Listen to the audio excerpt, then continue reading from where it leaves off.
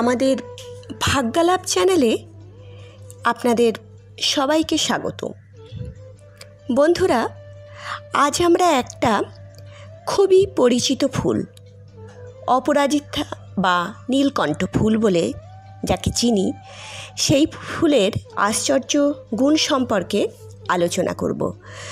বন্ধুরা, আমাদের এই চ্যানেলটি যারা এখনও সাবস্ক্রাইব করেননি, তাই দয়া করে সেই সব বন্ধুদের উদ্দেশ্যে বলছি, চ্যানেলটিকে সাবস্ক্রাইব করে পাশে থাকা বেল আইকনটি ক্লিক করুন, যাতে আমরা যখনই কোনো নিত্য নতুন ভিডিও আপলোড করব, সঙ্গে সঙ্গে আপনাদের কাছে পৌঁছে যাবে। আর যারা ইতিমধ্যে আমাদের চ্যানেলটি সাবস্ক্রাইব করেছেন, তাদের এই ভিডিওটি ভালো লাগলে লাইক করবেন, শেয়ার করবেন। আর দয়া করে বন্ধুরা, আপনারা ভিডিওটি শেষ পর্যন্ত দেখবেন। কেননা, প্রত্যেক ভিডিওই বোনাস আলোচনা হিসেবে আমরা আপনাদের উপযোগী অনেক আলোচনা করে থাকি। বন্ধুরা, এই অপরাজিতা ফুল আপনারা দু রঙের দেখে থাকেন, সাদা রঙের ও নীল রঙের। আর এক ধরনের অপরাজিত অবশ্য দেখে থাকেন থোকা টাইপের, যাকে দেখতে শঙ্খের মতো। বন্ধুরা, সাদা বা নীল, দুই ধরনের অপরাজিতা ফুলই খুবই ফলপ্রসূ, মূল্যবান ও উপকারী। আপনি যদি আপনার বাড়ির ঈশান কোণে, অর্থাৎ উত্তর পূর্ব কোণে এই গাছ লাগান, তাহলে বাড়িতে যদি কোনো বাস্তুদোষ থাকে তা খণ্ডিত হয়ে যায় এবং এই গাছ ও ফুল মা লক্ষ্মীর বড়ই প্রিয় হওয়ায় বাড়িতে সৌভাগ্য লক্ষ্মী বসত করে। বন্ধুরা, প্রত্যেক বৃহস্পতিবার তাই আপনারা যদি সাদা অপরাজিতার ফুল মা লক্ষ্মীকে অর্পণ করেন, তাহলে মা লক্ষ্মী বড়ই খুশি হবেন এবং আশীর্বাদ দানে আপনাকে ধন্য করবেন। বন্ধুরা, সাদা অপরাজিত ফুল দিয়ে আপনারা বিষ্ণুকেও, শ্রী বিষ্ণুকেও আপনারা পুজো করতে পারেন। বন্ধুরা, প্রথমে গণেশের পূজা ছাড়া কোনো দেবদেবীর পূজায় সম্পূর্ণ হয় না। তাই গণেশজিকে প্রত্যহ যদি পারেন, তাহলে এই ফুল দিয়ে পুজো করবেন, সাদা অপরাজিতা ফুল দিয়ে। আর যদি তা না হয়, তাহলে মঙ্গল, বুধ ও শনিবার এই সাদা অপরাজিতা ফুল অর্পণ করবেন। তাহলে ব্যবসায় খুবই সফলতা আসবে এবং পরিবারে আর্থিক উন্নতি ঘটবে। বন্ধুরা, দেবী দুর্গারও এই ফুল খুবই প্রিয়। তাই দেখে থাকবেন দশমীর দিন, যেদিন ঘট পুজো হয়, সেই সময় অপরাজিতার মালা পরানো হয় দেবী দুর্গাকে। তাই বাড়িতে যদি মা দুর্গার মূর্তি বা ফটো থাকে, তাহলে আপনি এই অপরাজিতা ফুল মা দুর্গাকে অর্পণ করতে পারেন। মা দুর্গার কৃপায় তাহলে আপনার পরিবার সমস্ত বিপদ থেকে মুক্ত হয়ে খুশিতে বসবাস করবে। বন্ধুরা, শ্রী রামচন্দ্র রাবণ বধের সময় দেবী দুর্গাকে এই অপরাজিতা ফুল অর্পণ করেছিলেন।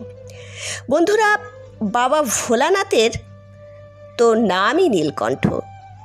তিনি সমুদ্র মন্থনের সময় উঠে আসা সমস্ত বিষাক্ত, দুর্বিষহ গরল পান করে হয়ে উঠেছিলেন নীলকণ্ঠ।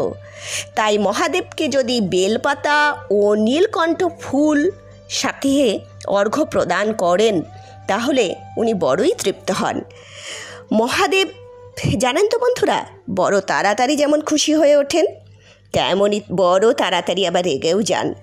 তাই ধর্ম, অর্থ, মোক্ষ ও কাম এই চারটি অমূল্য চাওয়া জীবনে পূর্ণ করতে, মহাদেবকে তুষ্ট করতে শুরু করুন মহাদেবকে নীলকণ্ঠ ফুল অর্পণ করা। আর হ্যাঁ বন্ধুরা, আমরা প্রত্যেকটি ভিডিওতে বোনাস উপায় সম্পর্কে বলে থাকি। আর আজকের বোনাস আলোচনা হলো শিবজিকে বেলপত্র দান পদ্ধতি নিয়ে। ভাবছেন, হি আবার কি? আপনারা তো সবই জানেন।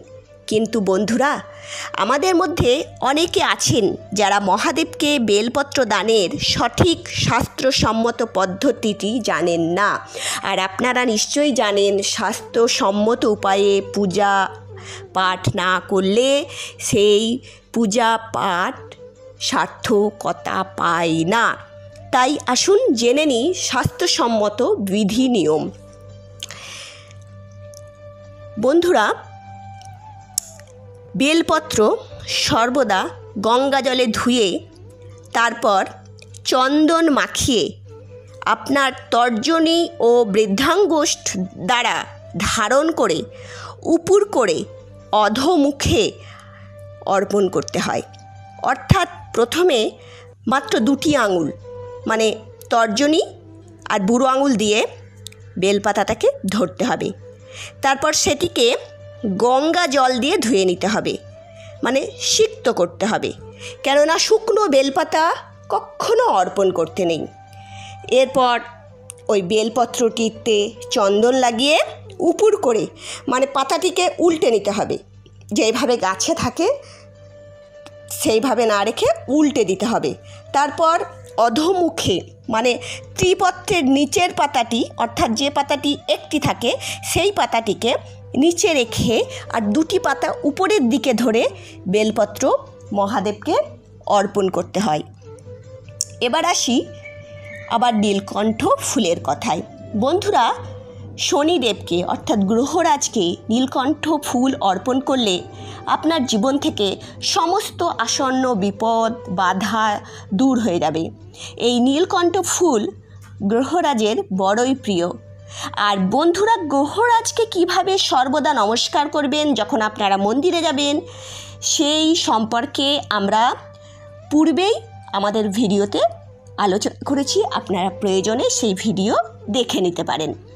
বন্ধুরা, কোনো কাজে বেরোনোর সময় যদি আপনার ইষ্ট দেবতার পায়ে অপরাজিতা ফুল ছুঁয়ে আপনি ফুলটি সাথে করে নিয়ে যেতে পারেন বা নিয়ে যান, তাহলে আপনি যে কাজে বেরোচ্ছেন সে কাজে অবশ্যই সফল হবেন, অবশ্যই অপরাজিত থাকবেন বা অপরাজিত হবেন। বন্ধুরা, মা দুর্গার পায়ে যখন বিসর্জনের সময় মা দুর্গাকে বাড়ির মহিলারা বরণ করতে যায়, তখন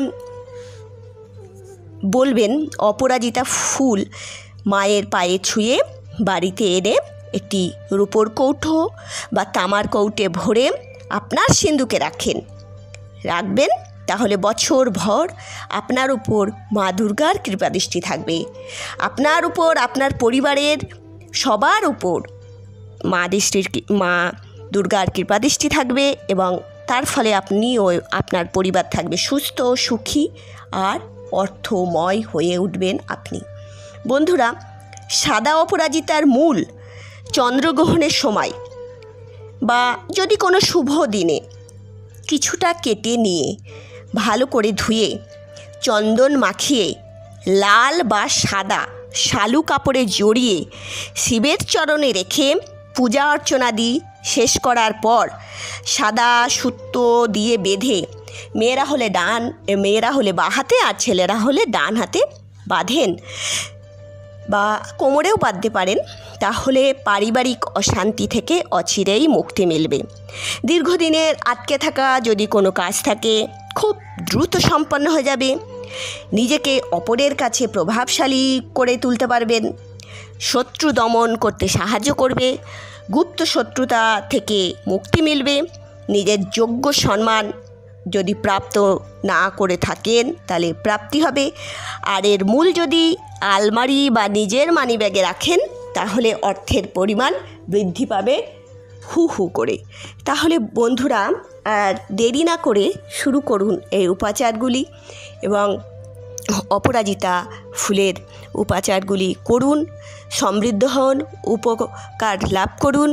এই কামনায় রইল আজকের ভিডিও। এখানেই শেষ করছি। ভালো থাকবেন।